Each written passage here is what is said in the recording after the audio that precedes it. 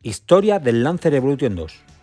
Casi dos años después del lanzamiento del Evolution 1, Mitsubishi Motors decidió que era hora de sacar un nuevo modelo y de paso corregir algunos aspectos de su primera versión. Si bien había recibido muy buenas críticas por parte de prensa y de los propietarios, deseaba ofrecerles un vehículo aún más competitivo, además de poder disponer de una mejor plataforma para el World Rally Car.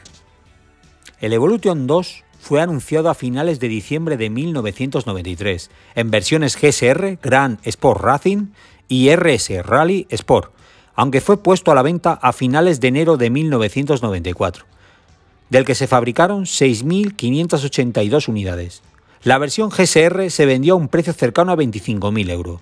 El éxito fue inmediato y cuando llegó el mes de abril ya se había vendido toda la producción. El modelo a primera vista fue ligeramente modificado. Estéticamente realmente apenas existían cambios visuales y es muy sencillo confundir la anterior generación con esta sobre todo en la versión RS. Los únicos cambios visibles son un pequeño labio negro en el parachoques frontal, y el cambio estético más reseñable era un ligero aumento del tamaño del alerón trasero, que era acompañado en esta ocasión por un pequeño aditamento puesto bajo el alerón en la parte inferior en color de la misma carrocería, con el grabado Evolution 2. Otro aspecto visual a tener en cuenta de las versiones RS a las GSR aparte de que el RS únicamente se fabricaban en color blanco, es que los tiradores de las puertas y los espejos retrovisores carecían de pintura y mostraban un negro mate. Dicho cambio estético acompañaría a todas las versiones RS de la saga en evoluciones posteriores. Aunque si bien montaba el mismo motor 4G63 Turbo, la misma tracción integral y el mismo turbo del primer Evolution, existían cambios reseñables. Una mejora en la línea de escape y un aumento en la válvula de admisión permitían a este Evolution 2 que ganara 10 caballos respecto a su predecesor, aunque mantenía el mismo par, dando 260 caballos. Entre las principales mejoras se encontraba la adopción de un refrigerador de aceite, la caja de cambios también recibía entre la tercera y la cuarta marcha un sincronizador de doble cono, así como un embrague de mayor calidad. Se aumentaba la velocidad punta alcanzando los 229 km por hora.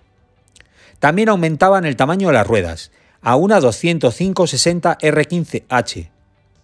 El aumento de la medida de neumáticos y llanta repercutía y aumentaba la altura y el ancho de vías, lo que permitía al modelo un mejor comportamiento y estabilidad.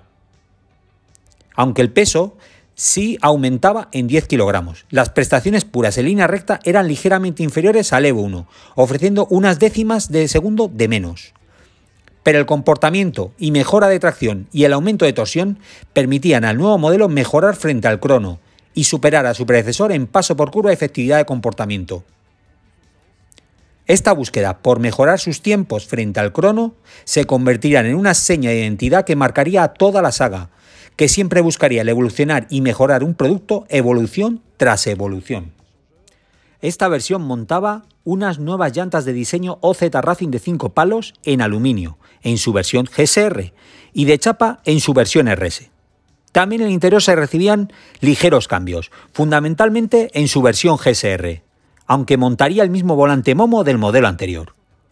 Otra de sus novedades serían los nuevos asientos recaro, un equipo de sonido y un climatizador. También la rigidez de torsión fue mejorada en un 30%, lo que permitía una mejora sustancial en su comportamiento. La versión RS se vendió exclusivamente en color blanco y el GSR en colores rojo, azul, negro, gris y blanco.